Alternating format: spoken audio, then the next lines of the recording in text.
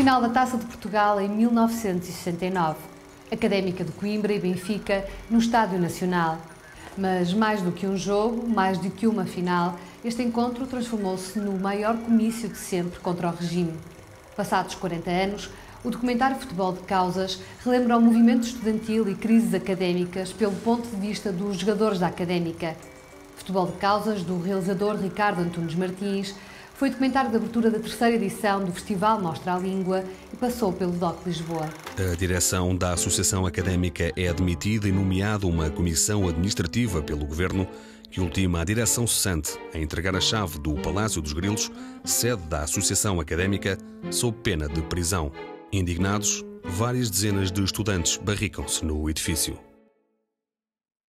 Recordo nomeadamente já depois da crise de 62, no, no, no fechar da crise de 62, julgo que foi nesse ano, que há um célebre jogo entre a Académica e o Sporting, já no fim do, do, da época futebolística, não me recordo se era um jogo de taça, era um jogo de campeonato. Há 40 anos hum, a Académica estava na final da Taça de Portugal, eh, há 70 também estava na final da Taça de Portugal, foi a primeira que a Académica ganhou e também a primeira realizada alguma vez em Portugal. Uh, portanto, uh, os novos têm uma, uma certa química com, com, a cidade de Coimbra, também com a académica. Uh, mas o documentário foi todo feito, principalmente se fosse uma narrativa, era uma narrativa feita em torno da participação dos jogadores da académica nas lutas académicas, nas lutas estudantis e também o clímax, se fosse uma narrativa, se fosse um romance, seria o episódio da final da Taça de Portugal em 69. A sorte da história esteve connosco a académica teve uma evolução muito forte na Taça de Portugal. 1969, ano de crise na vida universitária. Luto académico. E é de luto académico vestida que a académica vem ao estádio de Alvalade defrontar o Sporting. Nós jogávamos de luto sem ninguém estar de luto, era o luto académico, não é? E portanto esse jogo em Alvalade nós jogámos de branco com braçadeira preta, sem ninguém ter morrido, como é evidente.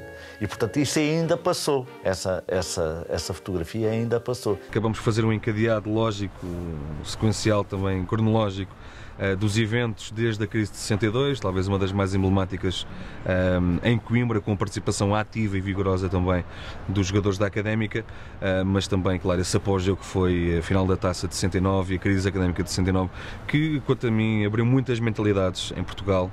Um, e os jogadores da Académica não lhes é feita essa justiça histórica.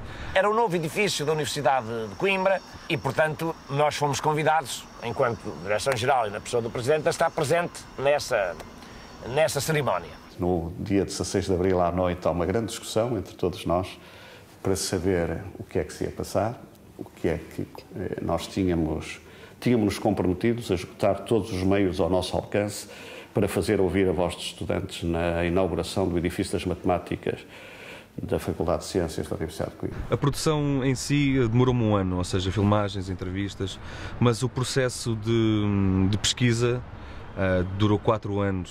Foi um, é um trabalho grande, desenvolvido com, com acesso a muitas, muitas entrevistas. Tive que andar na baixinha à procura de fotógrafos com fotos da época. Uh, tive que andar aqui na bancada a falar com, com os, os sócios mais velhos, um, a saber quem é que eram os jogadores, o que é que eles fazem hoje.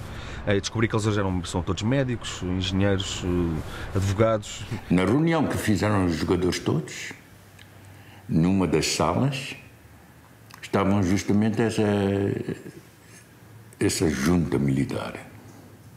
E automaticamente o primeiro a ser chamado fui eu era o capitão Mário Wilson, e foi-me posta a questão simplesmente a dizer joga ou não joga no próximo. Só tem que mencionar. Tive que passar uma semana na RTP, eh, nas chamadas catacumbas à procura de arquivo, foi uma semana fantástica. Tenho saudades dessa semana. Apesar de parecer uma semana pesada a nível de pesquisa, não foi. Foi engraçado ver todos aqueles, aqueles filmes, aquelas películas, eh, ver também uh, algumas entrevistas fora do contexto do futebol, em que eles falavam de assuntos sociais, e acho que no fundo a académica é um pouco isso. Uh, a, consciência de, homens que, aquele, que, aqueles jogadores tinham, e, pouco também ligado ao futebol, eram mais pessoas ligadas a, a assuntos sociais, a questões sociais. Um aluno da universidade dirigiu-se ao chefe do Estado e pediu para falar na qualidade de representante dos estudantes de Coimbra. Este momento é em representação dos estudantes da Universidade de Coimbra, peço licença à presidência.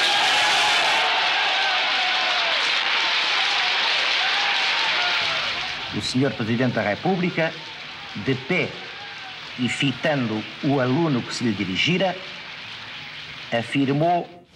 Bem, mas agora vai falar o Sr. Ministro das Obras Públicas, segundo a sequência.